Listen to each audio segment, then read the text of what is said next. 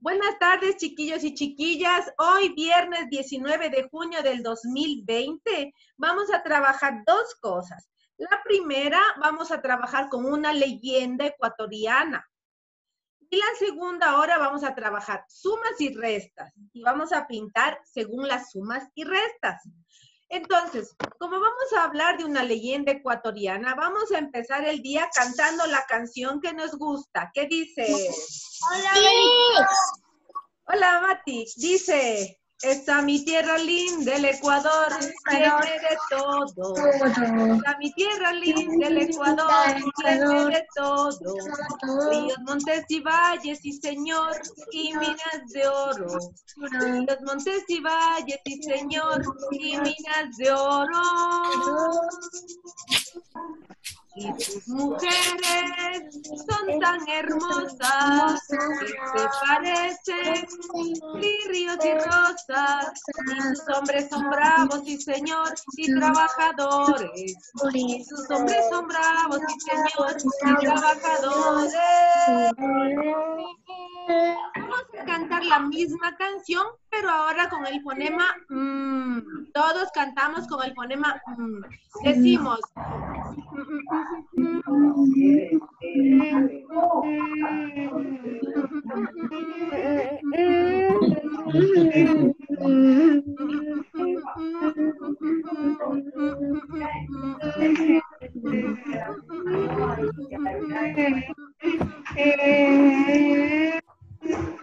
Y ahora cambiamos de fonema. Vamos a decirla con el fonema Joshua, con el fonema una, dos, tres.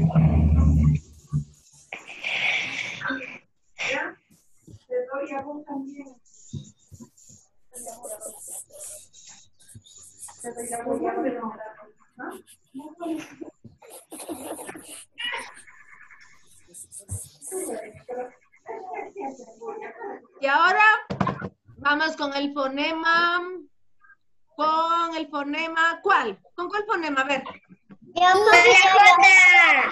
Con el fonema I, con el I, con la I vamos. Una, dos, tres.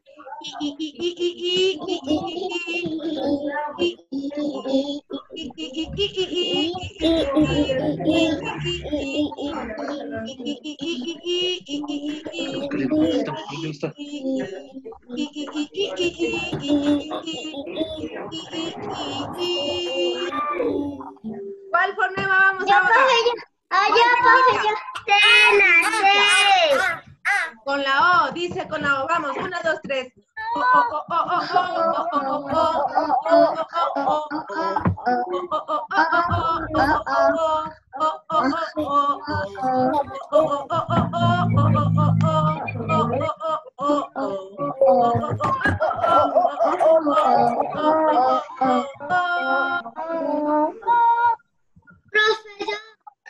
A ver, Andrés, ¿con cuál?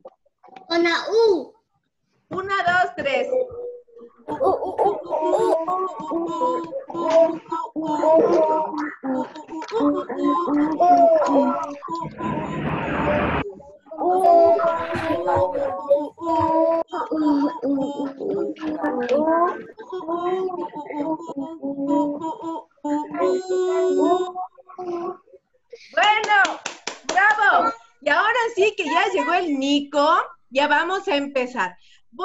compartir pantalla para que usted se fije en esta leyenda ecuatoriana. Recuerde que las leyendas ecuatorianas son un poquitín miedosas y tienen algunos personajes fantasiosos. Recuerde que estas leyendas han pasado de los tatarabuelos a los bisabuelos, a los abuelos, a nuestros papás, y así las leyendas se van contando de boca en boca. Esta leyenda ecuatoriana se llama El Gallito de la Catedral. Agárrese de sus asientos para que pueda mirar esta historia. Ponga atención que luego vamos a hacer preguntitas. Ajá. Ya. Empieza a oscuras. Uh. Me dan un ratito hasta que se ponga pantalla completa. Ya.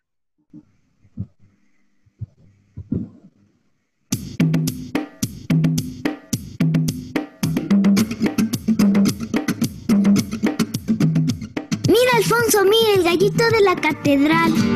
Sí, niña, lo estoy viendo. Este es el famoso gallito. A propósito, te voy a contar una historia. Dice la leyenda que don Ramón Ayala y Sandoval, uno de esos quiteños de antaño, se daba vida de rey.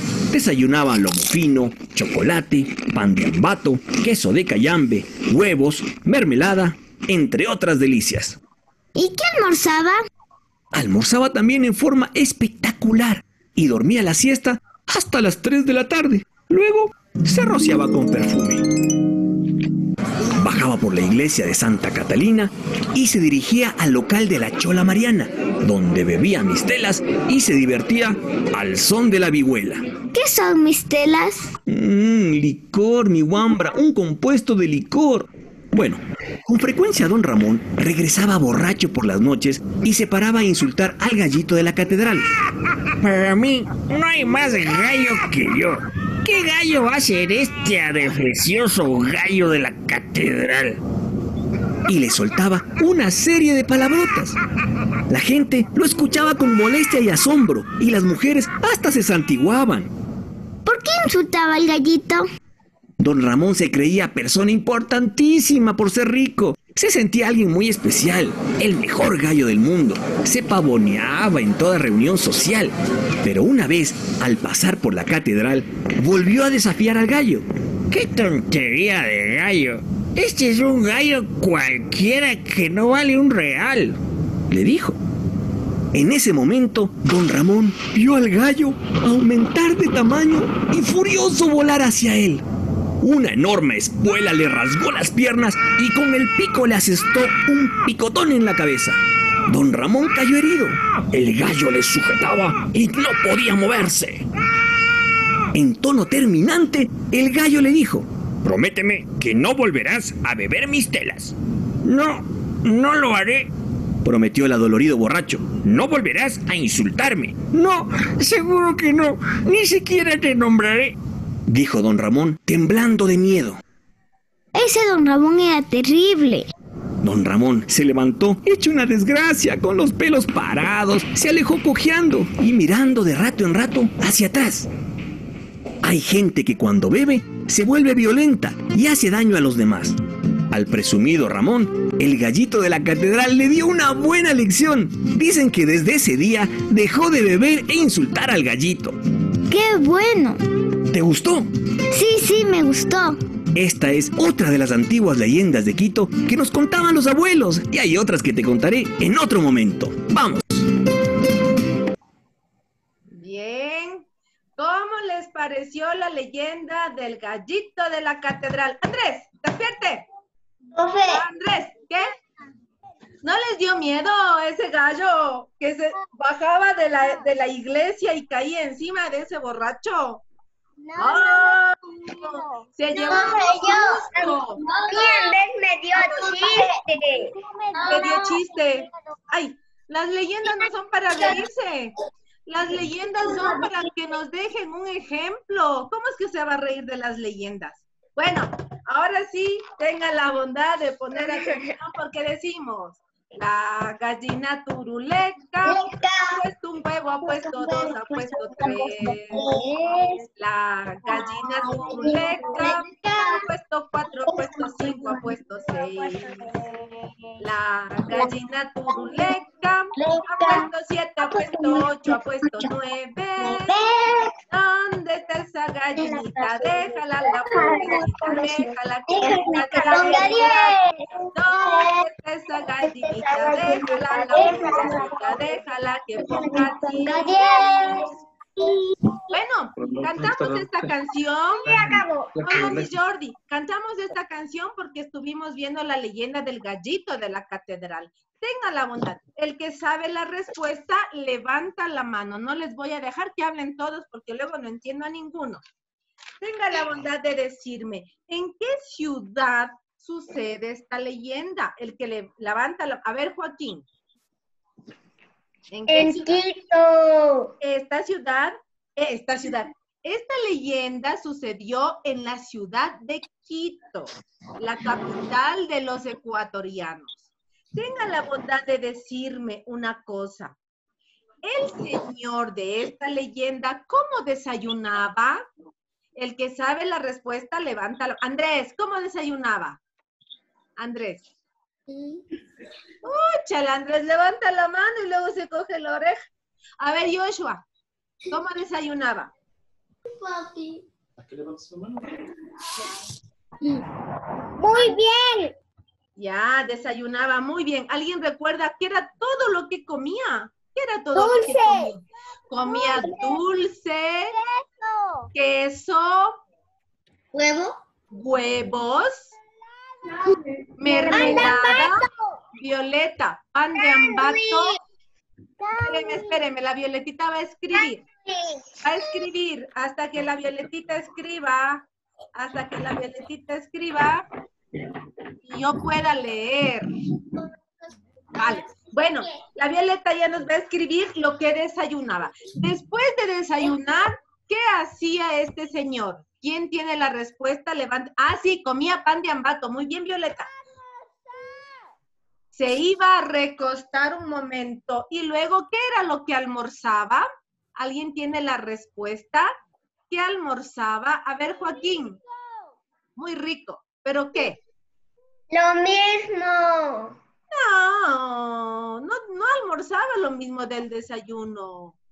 ¿Qué comía en el almuerzo? Pan, no comía pan.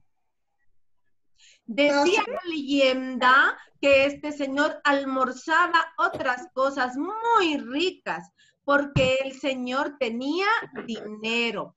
Y después, ¿a dónde se iba? Este señor, ¿a dónde se iba? El gallo. No, no. Bianca, dinos, ¿a dónde se iba? Espere, la Bianca va a hablar. A ver, Nico, Nico, dinos. A la terraza. No se iba a la terraza, se iba a un bar, a un bar. Ay, pero no me acuerdo el nombre de este bar. Dígame, Joaquín. Iba al bar a tomar vistuela. Vistuela, sí, iba a tomar mis telas. Bueno, casito, casito, ¿Verdad? Me Joaquín. equivoqué de nombre. Pero sí, iba a tomar mis telas. Y cuando regresaba de noche por el camino, Profe. muy bien, Julia, se burlaba del gallito de la catedral. Eso lo hizo algunas veces. Andrés, cuéntanos, ¿qué pasó una noche cuando regresaba? ¿Qué pasó con el gallito? Dale, Violetita, escribe, escribe, Violetita. Yo. Vilmita, da- dime, Vilmita. Me burlé otra vez. Se burló otra vez del gallito de la catedral. Se reía y le insultaba. A ver, Violetita, hágame leer. Espere, espere, está escribiendo la... A ver, dígame, Yair, dígame. Dígame. Sí, exactamente. Ya el gallo cansado de tantos insultos y de tanto que se reía de él, una noche se bajó desde la cúpula de la iglesia y le ha pegado a este señor. Con sus patas, con sus garras, le rasguñó todo. Este señor, ¿qué dijo? Por las piernas. Las piernas, todo. ¿Qué dijo este señor al final? A ver, espérate que quiero que me conteste Alinita. Alinita, ¿sabe qué dijo este señor al final? ¿Qué le dijo este señor al gallito de la catedral? ¿No? ¿Quién, quién tiene la respuesta? Yo, profe. ¿Quién? A ver, Joaquín. Le dijo que ya no se iba a burlar de él nunca más. Exactamente. Le prometió al gallito de la catedral que nunca más se iba a reír ni se iba a burlar. Ah, ¡Y tomar! ah, gallo, dice, al gallo se enojó. ¡Ah! Violeta, sal- estoy saliendo experta en entender tu escritura. La Violetita dice, el gallo se enojó. este señor, claro, y se burlaba de él. Este señor nunca más volvió ni a tomar, ni a reírse, ni a insultarle al gallito de la catedral. Ni a burlarse. Bien, escúcheme. Cambiamos de tema, cambiamos de tema, cambiamos de tema. Cambiamos de tema, cambiamos de cambiamos de tema. Les voy a silenciar para que me escuchen un ratito, ¿ya? Bueno, hoy nosotros vamos a hacer un dibujo de lo que más les gustó de la leyenda del gallito de la catedral, pero eso lo vamos a hacer en un momento. Quiero que me escuchen un ratito. Quiero aprovechar esta leyenda porque ¿sabían ustedes que hay peleas de gallos? ¿Sí sabían? Que a mucha gente le gusta ver cómo dos gallos se pelean y se pegan hasta morir. Sí, ¿Y ustedes sabían también que hay corridas de toros? sí. ¿Dónde? otro toro. Ya. Bueno, pero esta es otra cosa, mi amor. Eh, yo te estoy hablando de las, de las corridas de toros, donde las personas van a mirar cómo le matan a un toro. Profe, ¿Ya? Es- escúchame un ratito, termino de hablar y hablan ustedes, ¿ya? ¿Han oído ustedes que hay también peleas de perros? Sí. Sí. Pues sí, mi amor, pero es una pelea organizada. Las personas van a mirar cómo dos perros se pegan hasta que el uno le mata al otro. ¿Creen ustedes que esto es maltrato a los animales? No. Sí, muy bien. Pues yo también pienso, yo también pienso lo mismo. Hay personas que piensan que no y hay que respetar eso. Pero yo personalmente creo que las peleas de perros, las peleas de gallos, las corridas de toros, los circos con animales, es maltrato a los animales. Quiero compartirles la pantalla para ir conversando, ¿de acuerdo? Uy. Pero ya me equivoqué. A ver, compartamos la pantalla y analizamos. Acá le tengo. Ya. Bien. Por favor, ¿qué miramos allí? Unos animales. Animales. animales. Animales. ¿Qué animales vemos? ¿Qué animales vemos? Serpiente. Una serpiente. Una serpiente. Un pájaro. Un caballo. Un mono. Muy bien, muy bien. Vale, todos están bien. Ahora sí escúcheme. ¿Qué creen que dicen los animales?